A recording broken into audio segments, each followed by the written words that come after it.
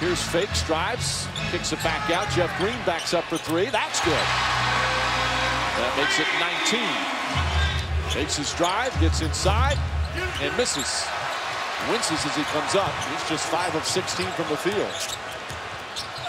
Green gets it to go. And it's 17. The Thunder, Bradley on the steal. Bradley gets inside, lays it in, and it's cut to 15. 11 straight points. Look at Bradley. Oh, knocked it off of Felton's hands. Another turnover.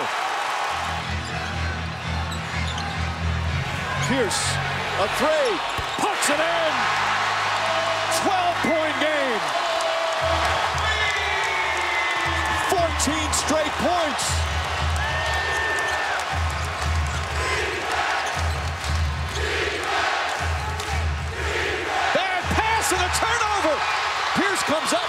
Pierce down the lane. Blocking foul. Counted and one. A 16-0 run. And the lead is cut to 10. I don't believe what I'm seeing right now. For the whole game, the Celtics have really struggled to put the ball in the basket.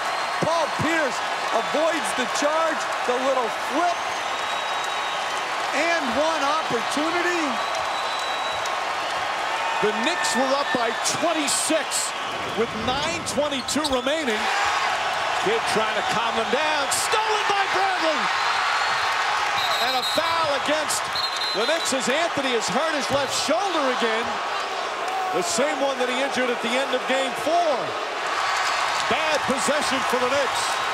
Green on the drive. Runner. No good, but a foul. And Green will shoot free throws with 5.44 remaining. What an incredible turnaround.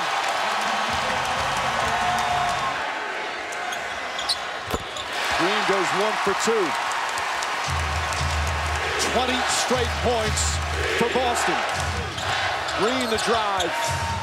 Chandler all over him. Five to shoot for Bradley. Bradley gets inside and banks it in. He goes right at Chandler.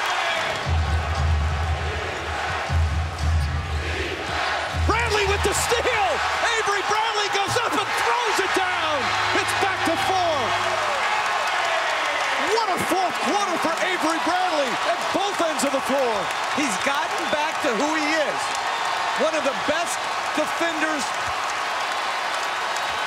This has to be approaching the greatest run in playoff history.